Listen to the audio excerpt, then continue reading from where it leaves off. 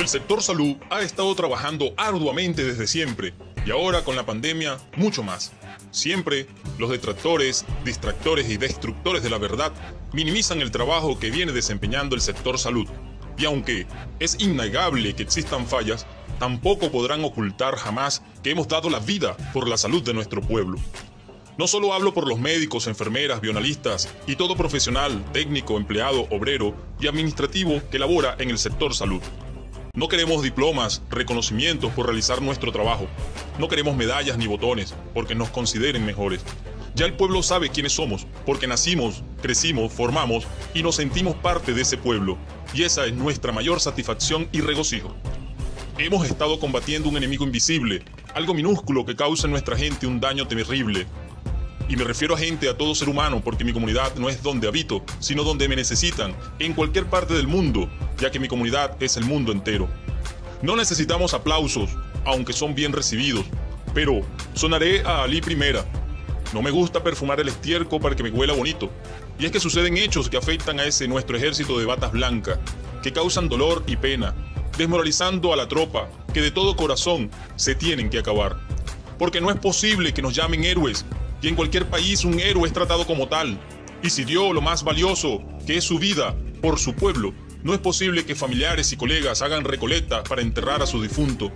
Es inaceptable que un médico o enfermera, considerada entre las profesiones más difíciles de estudiar y ejercer, o cualquiera que esté luchando contra el COVID, fallezca por cumplir con su labor, por proteger a su pueblo y después tengan que pagar la suma de 700 dólares para cremación o entierro. Y en algunos casos hasta más, porque suelen ser cifras superiores dependiendo del estado o ciudad.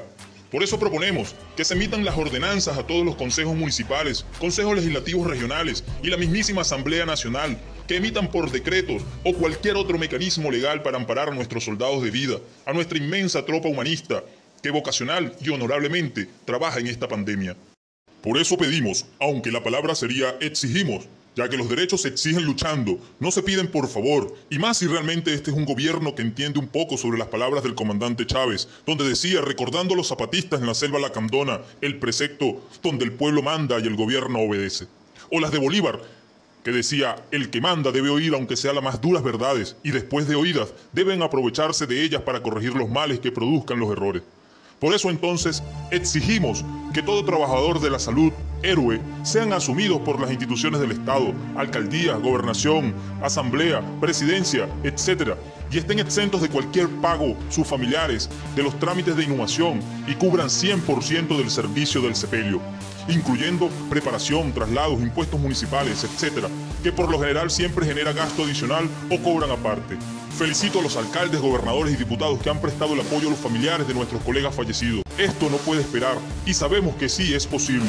Vamos, legislen, que para eso fueron puestos, para ser servidores del pueblo, así como el personal de la salud que salen a prestar su servicio todos los días a miles de hombres y mujeres, siendo grandes servidores en hospitales, en centros diagnósticos, consultorios populares, y que con mucho esfuerzo asisten con o sin gasolina, con bloqueo o sin bloqueo, con CLAT o sin CLAT, con transporte o sin transporte, con un salario patológico, hipotrofiado con el tiempo, un agonizante hiposueldo consumido por la hiperinflación. Quiero contarles un pequeño relato. En la batalla de Pichincha fue el escenario del sacrificio por la patria de uno de los más destacados héroes ecuatorianos de 18 años, Abdón Calderón. A pesar de haber recibido cuatro heridas de bala, prefirió permanecer inamovible en la línea de fuego, alentando a todo su batallón y levantando incansablemente la que es ahora la bandera celeste y blanco de la ciudad de Guayaquil. Al terminar el feroz combate, fue trasladado a la ciudad de Quito, donde murió al cabo de 14 días, el 7 de junio de 1822. Antonio José de Sucre, en su escueto parte de la batalla de Pichincha, fechado el 28 de mayo de aquel año, dice, hago una particular memoria de la conducta del teniente Calderón, que habiendo recibido sucesivamente cuatro heridas, no quiso retirarse del combate.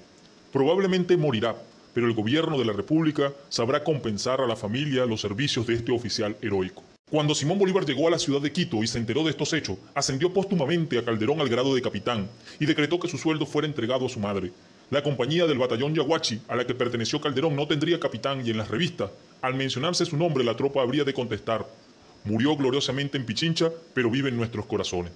La tradición se mantiene hasta la actualidad en el ejército ecuatoriano, pues al pasar listas a los batallones de caballería se lo nombra como dispuso Bolívar.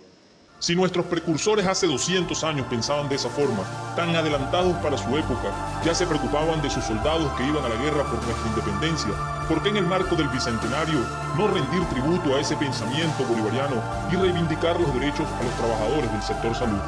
Por eso, por cada médico, enfermera y trabajador de la salud caído en combate, se le debería nombrar y decir, murió gloriosamente cumpliendo con su deber, combatiendo el COVID, pero vive en nuestros corazones. Eso, eso sí sería un verdadero recordatorio a nuestros héroes.